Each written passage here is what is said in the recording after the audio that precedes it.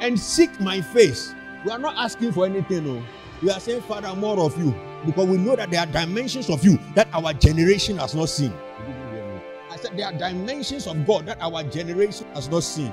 Certain generations saw things that our generation has not what? Has not seen. There are dimensions of God our generation has not seen. So when we are seeking the face of God, we are saying, Father, there are dimensions we need to see. We don't want anything from you. Show yourself to us in a magnificent way. Hallelujah. Reveal yourself to us more and more. That is that. We are just seeking the face of God. Hallelujah not our interest. Father, it is all about you. Father, it is all about you. I want to know you more. Show yourself more in my life. Show your glory in our lives. Even in the mighty name of Jesus, use me to be a reflection of your image to my generation. That is all you are doing, what you are praying. So you can be in the house and all your prayer is that, Father, I seek you. Your will and not mine. Your will and not mine. And that is the prayer you are praying. You are not praying for bread. You are not praying for butter. You are not praying for kenkey all you are doing is that you are doing what? You are seeking the face of God. Hallelujah. Why? Because God is looking for men. He is looking for women who are after his heart. He is not looking for church goers. He is not looking for people who are coming to fill seats. He is looking for people who are after his very heart, who are after his very agenda for this earth. Hallelujah. And if he can find such a man, he will do mighty things with the person. If he can find such a woman, he will do mighty things with the person. Amen. He said, I sought for a man and I found. May God find you. I said, May God find you. Seek his face. Gather people. Come, let's pray. What are we praying about? Father, we want to see you more in the lives of everybody. We want to see you more. Are you hearing me? These things I'm saying, don't throw it away. Hallelujah. I said, don't do what? Don't throw it. Victoria, are you hearing me? Don't throw it away. Rise up. Amen. This word is for you. Amen. Are you hearing me? Whoever is hearing me, this word is what? It's for you. Jessica, rise up. Ruth, rise up. Mary, rise up. Seek my face and turn from their wicked ways. The wicked ways that they are playing. Amen. We know what God expects of us. We do it. Somebody can look at God and come and give God one cedi. It's also a wicked way. And that is not wicked. It is wicked. How do you give egg two cedis and give God egg is what three cedis and give God one cedi? Is that not wickedness? Praise God. You can look at God's face and laugh. You can look at God's face and do all manner of things. Praise God. The very fact that you are stubborn, disobedient to the word of God means that you are what? You are evil. You are doing evil in His sight. Amen. Oh, praise God. He said we must turn from what? Our wicked ways. Can I tell another way where we are being wicked towards God? How many of you got flyers last week? What is the result of your flyer? What happened to the to the servants? The man gave five talents and he gave what? Three. And he gave what? Two and he gave one. The one who came with nothing, what did he say? He said, You wicked and what? Unprofitable servant. Hallelujah. Are you understanding what I'm trying to say? It is wickedness. Look at someone, tell person it's wickedness. If it is birthday party, you will find a way of taking the person. If it is your funeral, you find a way of taking the person. I even know people who took people from church. They should come to church. Amen.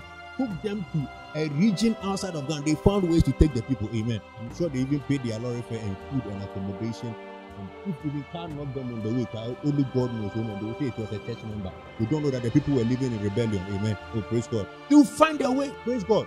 You become profitable. Some of you can take people to hotel for one week. Amen. Oh, praise God. Profitability in the kingdom is missing. Tell somebody it is wickedness. No, shake the person. Tell the person it is wickedness. You are supposed to be profitable in the kingdom. Praise the Lord. Anyone who belongs to the kingdom and is not profitable is simply what?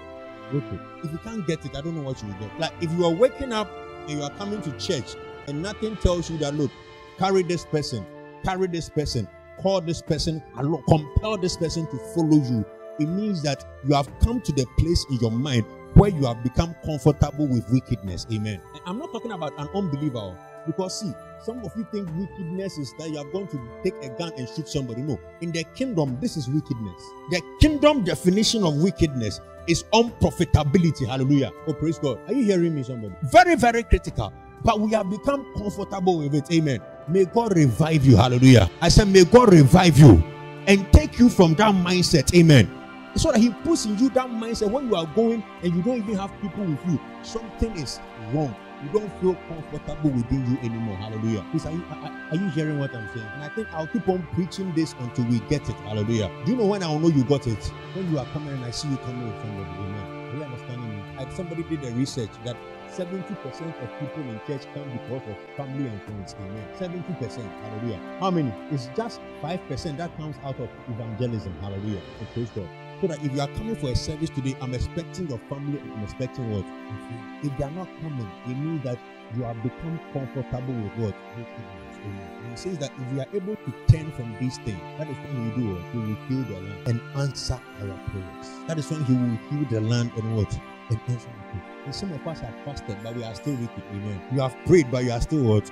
Wicked. You have humbled yourself, but you are still what? Wicked. Pastor, I'm not wicked. You are wicked. You don't get it. You are. The reason you are wicked is that you are still not profitable to what? To the kingdom. So praise God. Can I show you a funny way of calculating profit to the kingdom? How much are sitting on the chair?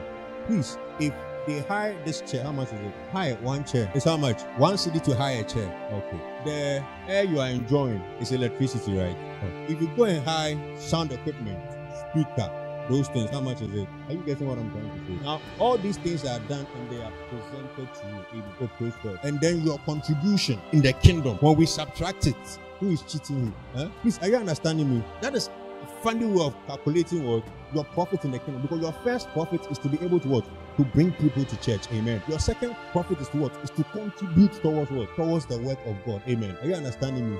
And look, some of you are owing. You are owing God, oh, and you say God is not doing much for you. Hallelujah. You know what? They've they have over they've given you overdraft. Hello. Please, are you understand what I'm saying? Some of you are in debt in the kingdom. You are in debt. When we calculate your balance sheet in the kingdom, you are aware you are in debt. So the more blessings they give you, it is just debt they are clearing. You have not yet entered into the what? Into the green. Is this serious? Yeah, it's serious. Let somebody wake up.